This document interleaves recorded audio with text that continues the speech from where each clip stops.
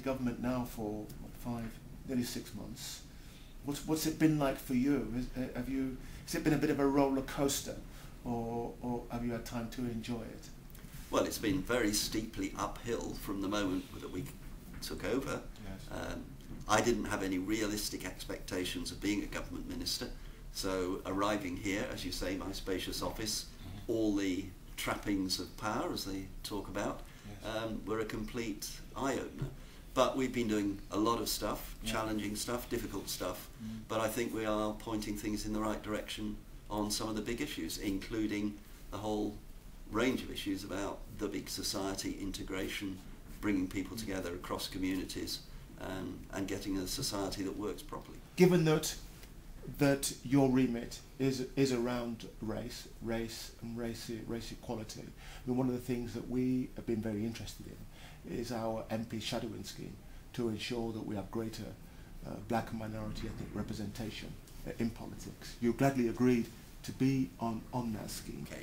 Well, the first thing to say it's a fantastic scheme. Uh, I'm always an enthusiastic participator in these mentoring schemes. Yes. Uh, I learn a lot, and the person who accompanies me usually learns a lot. One of them's now a government minister, so I must be doing something. Lynne Featherstone. Um, before she was elected to anything, she was somebody who was on a mentoring scheme which we ran in the Liberal Democrats to try and get a better representation of women in politics. And uh, one thing led to another, and now she's a um, Home Office Minister for Equality. So most people, when they spend a day with an MP, find it eye-opening because they had no idea what we do. They thought we maybe sat in the chamber and drank, probably drank full stop really, uh, drank tea and uh, whatever, and, and that was it. But of course, both being as an MP in Parliament and a minister here in the department, Yes. there's a huge range of things which uh, I think was an eye-opener for Daniel. So what did I get out of it? Well,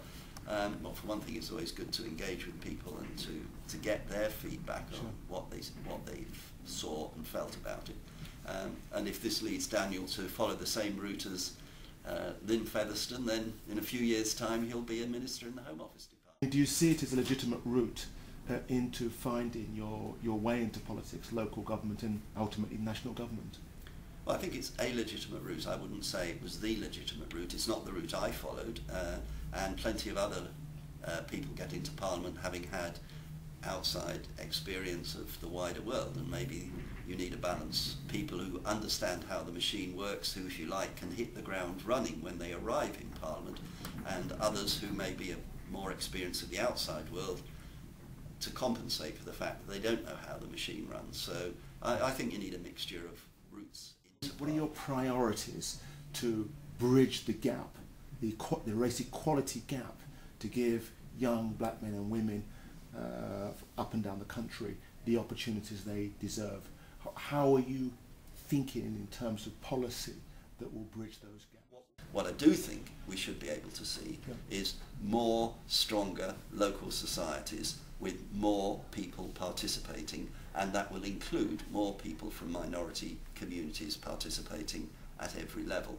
Um, because what we're trying to do is change a situation where all the big decisions are taken by a few people, mostly white, Yeah. mostly men, Sure. sitting at desks in Whitehall, to one which is much more decision taking by local communities, local people, responding to the needs and requirements of their area and sending messages upwards rather than sending messages downwards. So I hope you'll be able to say, yes, it's different and it's better because of that.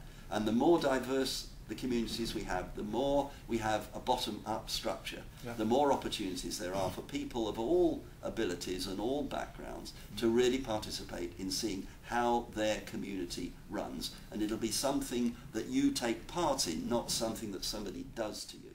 And I think Your own uh, personal experience is brought to bear with, uh, uh, correct me if I'm wrong, but uh, that I think you, I heard you once mention that you have two adopted uh, uh, children of uh, that, uh, that are mixed. Does that help you come to where you are in understanding the, uh, the, the dynamics of race inequality? my children practical experience. I mean, I've got five children altogether, um, three natural children, two adopted children.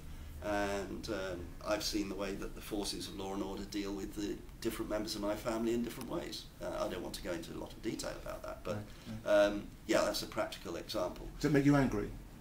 It makes me angry and it's sad. I, I don't want to get into the personal circumstances here because uh, my children are much more accepting of it than I am, I'm, but th- that's the reality of the situation. Uh, and what we need to have is a society where, um, first of all, where we don't get that. Yep. Uh, secondly, where it does happen, that it's always challenged. Sure. Uh, and that nobody ever takes it for granted as just one of those things that happens. If there is a two, three to one majority within the party that doesn't recognise structural inequalities for women, for black minority communities, that you have a problem uh, with the membership that doesn't get equality. Sitting there during that debate, speaker after speaker, uh, lamented about the lack of representation, but said the Liberal Democrats are a party that don't do it, uh, that don't change their rules to, to help uh, change this situation. And what it seemed to me was is that there was a lack of recognition, uh, in fact, uh, to the structural inequalities that persist within the party. And there wasn't the leadership there to challenge the party's ideas. even the black voices weren't all on one side of that debate. The women's voices weren't on one side of that debate. Sure. The problem is there are two principles here. I think, uh, like you, I think that one principle should override the other, Yep. but that isn't the view that that people took. That, Sure. that it should be. I mean, th- these are arguments from the 60s and 70s, which are, you know, you can accuse us of not having. I accuse some of the people taking part in that debate of not having caught up with where we are. Sure. But there is a really important principle, especially for Liberal Democrats, about making sure that, um, that first of all, we get the best person for the job, Yep. that, that, that it's not interfered with from the top, that Sure. it's, it's a bottom-up party.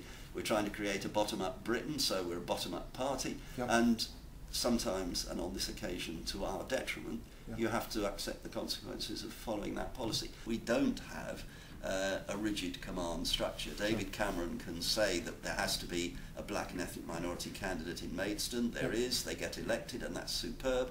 But you can only do that if you've got certain party structures, which we, the Liberal Democrats, by constitution, don't have. And I shall still be fighting uh, for making sure that we get in our leading seats black and ethnic minority candidates selected, Yeah. and where we've got them selected, that we get them elected. Point about this, uh, you talk about us being a minority or a junior partner. Yes. It's all based on a coalition agreement, Yeah. which was drawn up between two parties who had equal inputs into that. And on these core things, Yeah.